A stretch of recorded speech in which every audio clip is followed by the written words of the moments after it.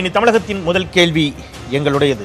அந்த விதத்தில் நிர்மலா சீதாராமன் அறிவித்திருக்கக்கூடிய இந்திய நிறுவனங்களுக்கான பெரு நிறுவனங்களுக்கான கார்ப்பரேட் வரி சலுகை மிகப்பெரிய அளவில் வரி சலுகை அளிக்கப்பட்டிருக்கிறது. பத்து விழுக்காட்டிற்கும் அதிகமாக வரி குறைக்கப்பட்டிருக்கிறது. இது எந்த அளவில் சாமானியருடைய வாழ்க்கையில் தாக்கத்தை ஏற்படுத்தும் என்பதை பற்றி பேசிக் கொண்டிருந்தோம் திரு கனகசபாபதி அவருடைய கருத்துக்களை கேட்கலாம். சார் மிக குறிப்பாக வாங்கும் திறனை அதிகரித்தால் இந்த பிரச்சனை சால்வ் ஆகும் அப்படிங்கிற வாதத்தை முதல் சுற்று வச்சாங்க வாங்கும் திறனை அதிகரிப்பதற்கு குறிப்பாக இந்த பெட்ரோலிய பொருட்களினுடைய வரிகள்லையாவது மாற்றத்தை கொண்டு வந்திருக்கலாம் அப்படிங்கிற வாதம் வச்சாங்க. சார் இன்னைக்கு இன்னைக்கு டேட்ல பெட்ரோல் விலை என்னன்னு உங்களுக்கு கண்டிப்பாக தெரியும் நினைக்கிறேன். இன்னைக்கு தேதியினுடைய பெட்ரோல் விலையை சொல்லி நீங்க அது இந்த ஒரு வாரத்தில் எவ்வளோ ஏறி இருக்குங்கிறது உங்களுக்கு தெரியும். மோர் தென் ஒன் ருபி இந்த அஞ்சு நாள் ஏறி இருக்குது. இன்னைக்கு மார்க்கெட்டில் பெட்ரோல் விலை என்ன அப்படிங்கிறத சொல்லிட்டு ஸோ இதை குறைக்கிறதுக்கு என்ன செய்யலாம்னு சொல்லுங்கள் சார்.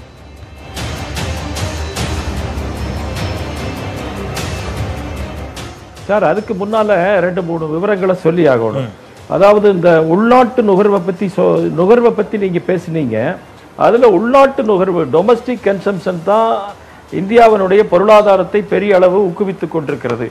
இந்த உள்நாட்டு நுகர்வு அப்படிங்கிறது எழுபது சதவீதம் இருக்குது. அது என்ன இப்ப பாத்தீங்கன்னா கடந்த பத்து வருஷத்துல உள்நாட்டு நுகர்வுங்கிறது இந்தியாவில் வந்து மூணரை மடங்கு அதிகரித்திருக்கிறது. அதாவது முப்பத்தொரு ட்ரில்லியன் டாலர்லேருந்து நூற்றி பத்து ட்ரில்லியன் டாலராக அறிவித்து அதிகரித்திருக்கிறது. இந்த நுகர்வுங்கிறது இன்னும் ஏழு சதவீதம் வளரும் என்று கணக்கு போட்டிருக்கிறார்கள். ஆகவே உள்நாட்டு நுகர்வு தான் நம்முடைய பொருளாதாரத்தினுடைய வளர்ச்சியை அதிகரித்துக் கொண்டிருக்கிறது. இதில் பெரிய பாதிப்புங்கிறது இல்லை. எங்கெங்கே சிறு சடங்குகள் அதாவது சிரமங்கள் சறுக்கல்கள் வருகின்ற போதும் அரசாங்கம் அதற்கான நடவடிக்கைகளை எடுத்துக்கொண்டிருக்கிறது அப்படிப்பட்டதுதான் இந்த நடவடிக்கை. ஒரு நண்பர் பேசும்போது சொன்னார் இந்த சாமானிய மக்களுக்கு பணம் போகலை அப்படின்னு.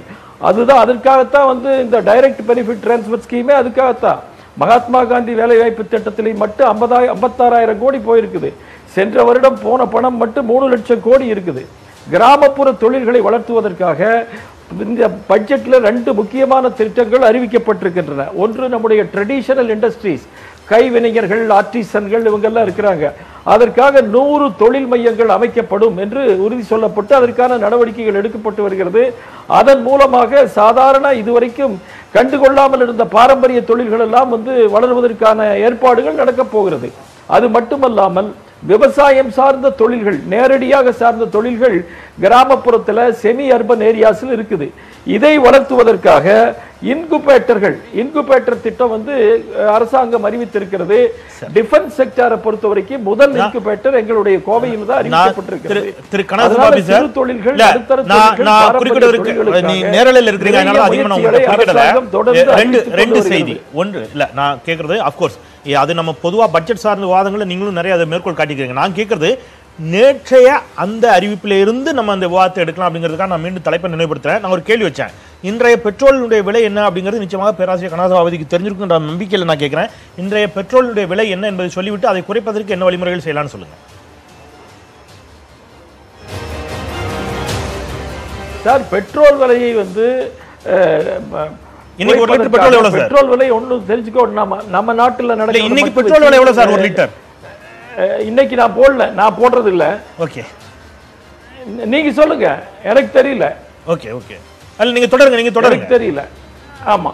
அதனால இப்ப petrol petrol sir petrol diesel விலையை குறைப்பதற்கு அந்த ஜிஎஸ்டி திட்டத்தில் கொண்டு வந்தா குறைக்க முடியும் அப்படிங்கிறது அரசாங்கத்தினுடைய திட்டம். அது அரசாங்கத்துல முன்னாள் நிதியமைச்சர் அருண் ஜேட்லியே பேசியிருக்காரு. அது வராம தடுத்து தடுத்துட்டு இருக்கிறது யாரு?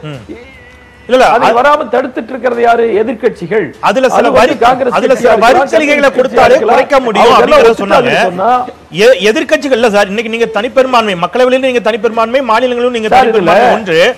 நீங்க இந்த ஜிஎஸ்டி கவுன்சில்ல இன்றைக்கு எதிர்க்கட்சிகளுடைய ஆலோசனை எல்லாம் கேட்டு தான் பெருநிறுவனங்களுக்கான வரிச்சலுகை கொடுக்கப்பட்டது அப்படிங்கிறது ஒன்று. நம்ம ஆர்டிகல் த்ரீ செவன்டியா இருக்கலாம் அல்லது முத்தலாக்கா இருக்கலாம் பல விவகாரங்களே எதிர்க்கட்சிகளுடைய என்ஐஏவா இருக்கலாம் பல விவகாரங்களே எதிர்க்கட்சிகள் தொடர்ச்சியா எதிர்ப்பை காட்டிட்டு தான் வராங்க பட் இன்னைக்கு பாஜக இருக்கக்கூடிய அந்த ஃபுல் மெஜாரிட்டி அப்படிங்கிறது நீங்க பல சட்டங்களை கடுமையான எதிர்ப்புகளுக்கு மத்தியில் நிறைவேற்ற முடிகிறது. அதை செய்யக்கூடிய அரசால் இதையே முடியாது அப்படிங்கிற கேள்வி சாமானியர்களுக்கு எழும் இல்லையா?